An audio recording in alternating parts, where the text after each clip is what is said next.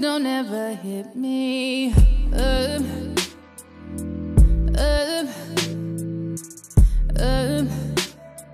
Why you think I give no? Hi guys and welcome back to my channel. It's Anti Gorgeous here with another video. Actually, this is my first video of 2018 lit. If you guys are not already subscribed to my channel, at this point what we waiting for? Like just go right ahead and subscribe to my channel. Now today's look is a very colorful bold look. I wanted to do an inspired look. So today this video is going to be based off um, instagram inspiration. I butcher names so bad. So i just started following this page a couple of months ago and every look on this page is amazing. And my look is from the I don't know how to pronounce it, but it's called Palouise Makeup Academy. I'm not really sure how to pronounce it, but this is the look right here. I don't know if you guys can see it, but um, this is the look right here. I instantly came home as I saw this picture at work and started to recreate this look. So it's basically just like yellow, orange, pink, white, and a hint of glitter. Everything that looks good on my skin tone. So I had to recreate this look. But if you're interested in seeing how I created this look right here, just keep watching the video.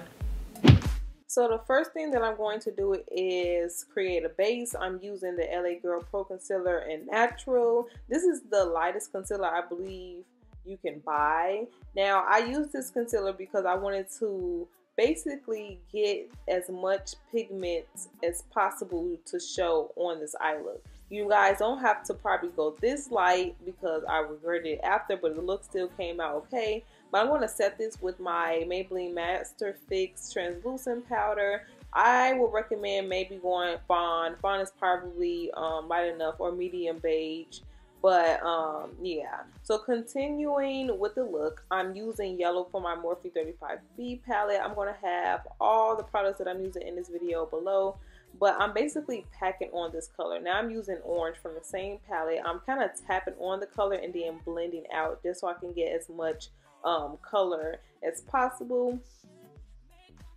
And now I'm going to go back in with that brush that I use for the yellow just to make sure everything is blended together. Now one thing that I do have to say is that this eye look basically brought me through hell. I was trying to get the pigment to show and the shadow was kind of disappearing. As you guys can see, I blended out the crease and it disappeared. So I went in with my Lime Crime Venus palette to kind of get that pink pigment that I was trying to get from the Morphe palette. And it worked a little bit, but um, it did come out a little blotchy.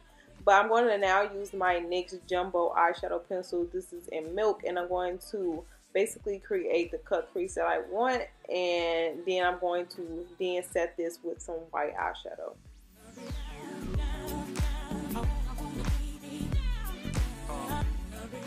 So you want to set this with a white eyeshadow because you don't want your eyeshadow that you're going to apply to stick. So make sure that you're basically setting this very evenly. You don't want any wet marks to show because that shadow that you're going to apply will stick and it's just going to look bad. So now I'm going to go back in and try to add some pink. As you guys can see, it looks beautiful on the white, but it's not really sticking to the end of my eye.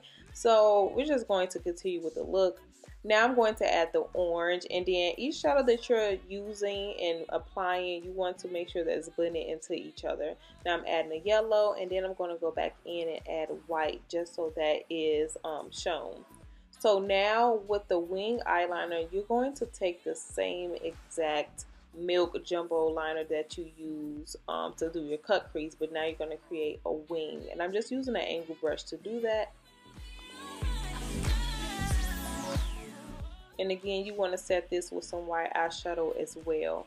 And when you're creating a reverse, of course, you're going to do the reverse thing that you did for your eyelid. So now I'm adding a pink and then I'm going to go in and add the orange and then I'm going to add the yellow and I'm going to leave the tail in white. But again, make sure that each shadow is blended into each other.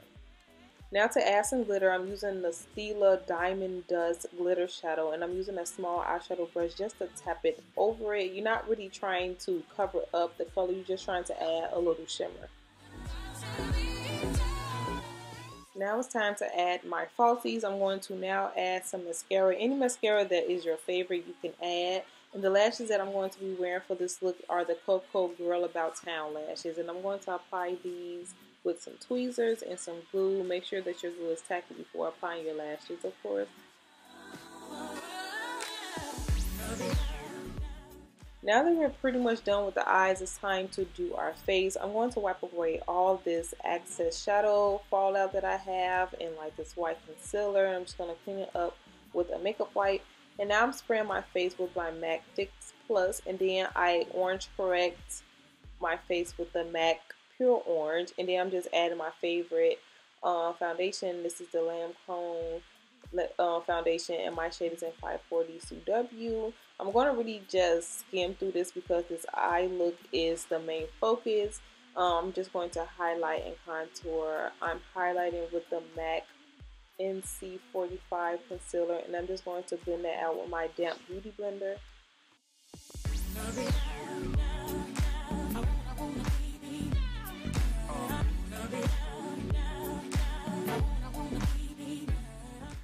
Contour with I'm using my Bobbi Brown foundation stick in espresso. You guys already know this is my jam.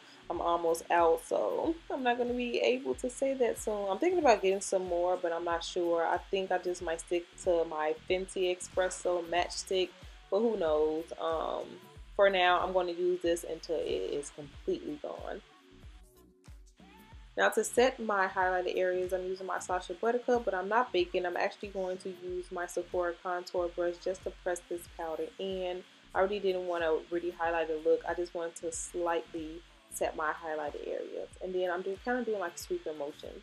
Now to bronze up my face, I'm using my CoverGirl bronzer Queen Collection. This is in ebony and I'm just going to warm up my face a bit. Y'all, seriously, this is my Ray Ray palette has been my go-to. I'm using Brownie Bite as my contour shade just to snatch these cheeks up a bit. To finish my under eye, I'm going in with my e.l.f. blush palette and I'm just adding some blush as some um, shadow to smoke it out. I'm not really sure what the name is because it doesn't have a name. Then I'm going to add some highlight and this is my Jackie Aina La Peach highlight. And I'm going to also add that same highlight to my brow bone and in my inner duct. And that is it for this video. Thank you guys so much for watching. Again, don't forget to subscribe so you won't miss any more videos from me. And slay every day. I'll see you guys in my next upload. Bye guys.